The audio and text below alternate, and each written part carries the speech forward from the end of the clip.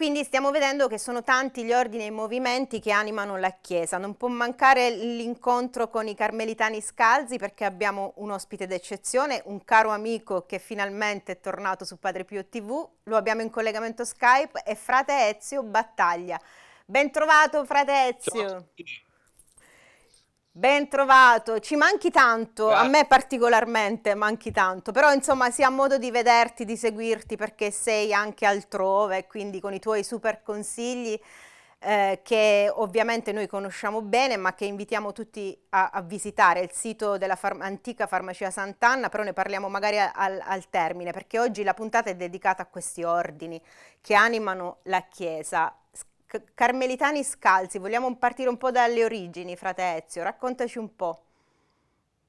Certamente, eh, a differenza degli altri ordini religiosi, mhm. domenicani uh-huh. San Domenico, francescani San Francesco, il nostro nome deriva da un luogo, da un monte, il Monte Carmelo, che si trova in Palestina.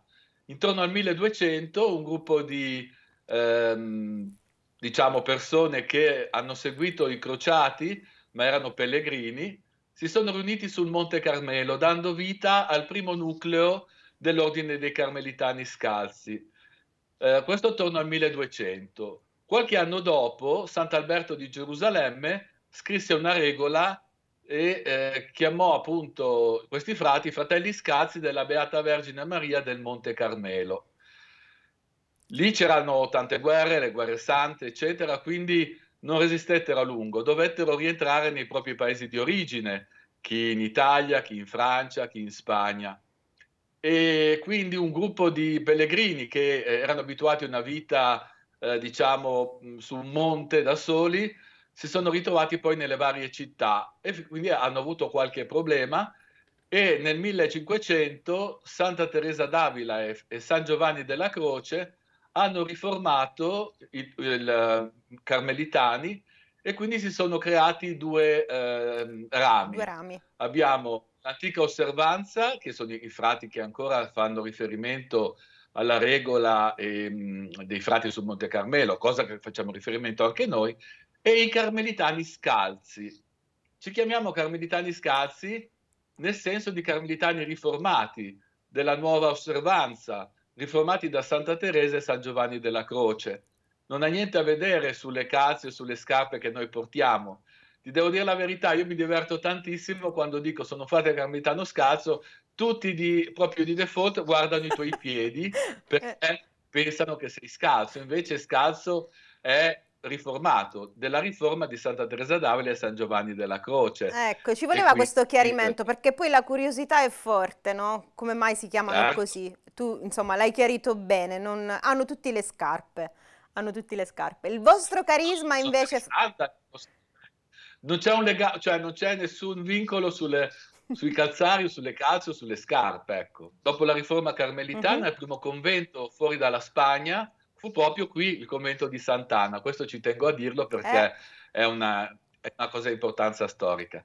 Per quanto riguarda il carisma, diciamo che ogni ordine religioso ha il suo carisma e dobbiamo però anche dire che certi carismi si, si diciamo, compenetrano, quindi non è che i nostri carismi sono esclusivamente nostri. Diciamo che l'insieme dei carismi sono specifici dell'ordine carmelitano. Allora, quali sono i nostri carismi? Intanto vivere nell'ossequio di Gesù Cristo un atteggiamento contemplativo. Questo valeva ovviamente per i primi eh, monaci sul Monte Carmelo, ma vale ancora per noi oggi, anche se ovviamente nella città, nel, nei vari pastorali che fai, devi proprio cercare di riuscire a farlo.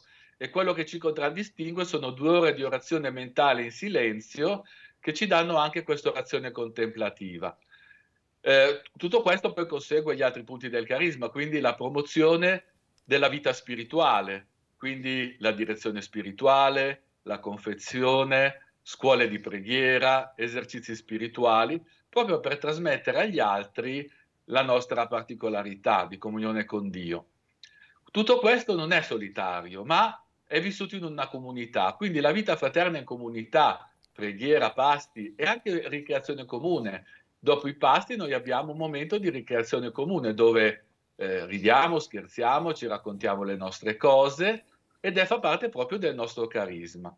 mh, la preghiera ovviamente, la, le due ore di orazione mentale sono secondo lo spirito teresiano e eh, Santa Teresa nel, nei suoi scritti scrive una cosa molto bella.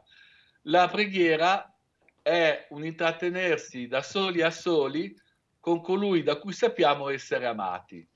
Quindi la preghiera parte tutto da questo.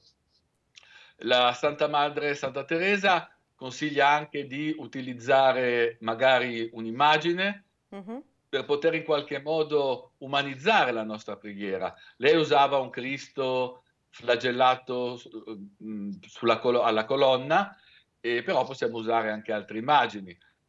Chiede anche magari di leggere un brano della Sacra Scrittura o un testo che può essere utile per noi. Ovviamente l'ora non può passare semplicemente facendo queste cose, ma può essere un inizio per poi sviluppare la nostra preghiera in comunione con Dio. E la cosa bella è che è un'orazione personale con Dio, ma tutti insieme ci troviamo nella stessa cappella, tutti insieme in silenzio e ognuno prega il Signore come, come decide.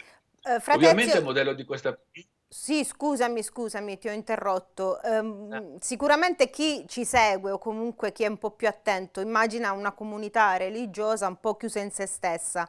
In realtà voi vivete nel mondo, vivete nella diocesi, siete uh, comunque un ordine vivo, anche per via delle attività sì, certo. che poi parallelamente portate avanti. Quindi questo è un sì, mito certamente. da sfatare. Mm-hmm. Certo, dipende da comunità a comunità eh, ci sono comunità anche molto ampie come la nostra che sono dai 12 ai 15 religiosi.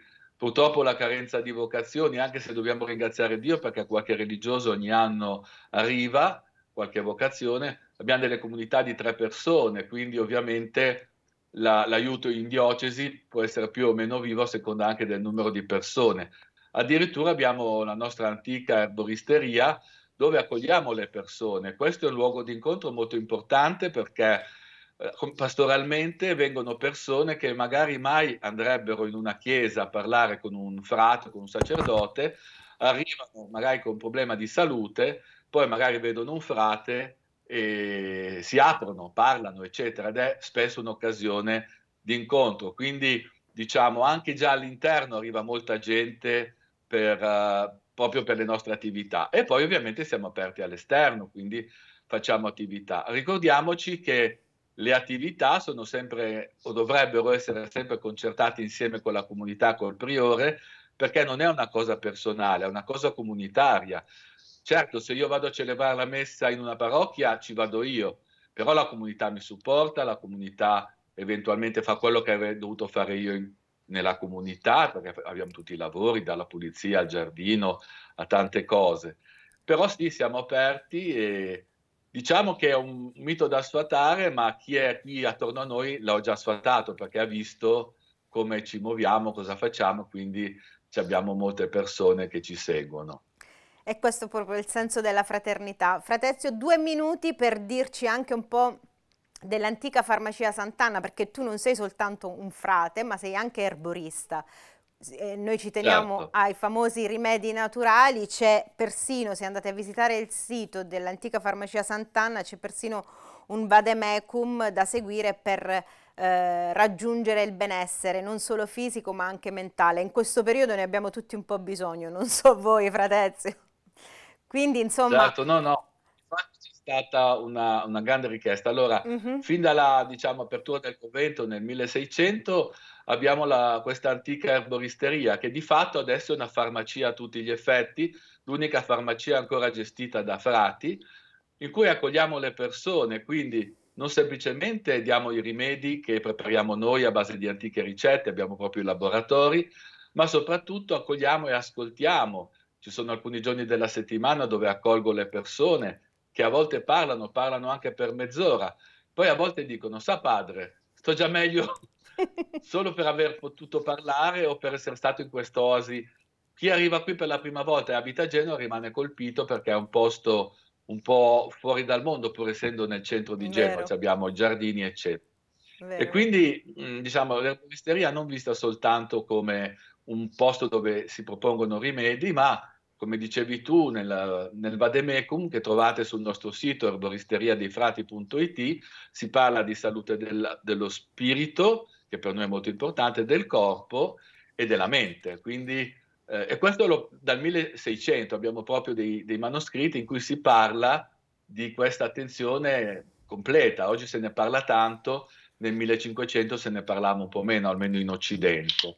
Quindi questa è un'attività molto importante che diciamo, di cui sono responsabile, i miei confratelli ovviamente vengono ad aiutare perché c'è sempre un sacco di cose da fare per le preparazioni.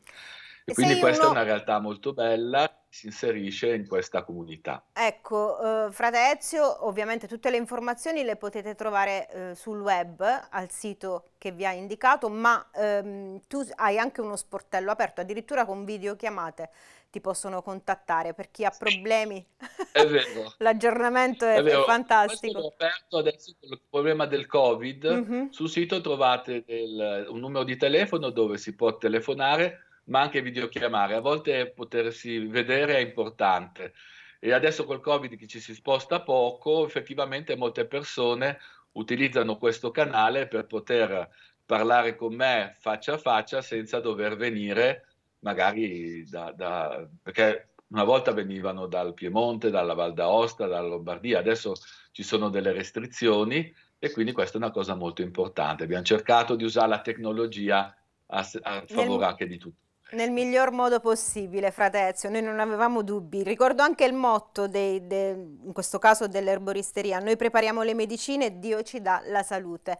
Fratezio un carissimo amico che è tornato, speriamo di ritrovarci presto e magari ecco, di far visita, eh, sperando che insomma, i tempi migliorino per tutti, anche fisicamente, non soltanto digitalmente. Fratezio, grazie di cuore per questa presentazione grazie breve. Grazie a voi buona prosecuzione. Niente, siamo qua. Ci vediamo. Ci vediamo presto. Vediamo. Un caro abbraccio a te e a tutti i confratelli. Noi, noi continuiamo subito dopo una breve pausa.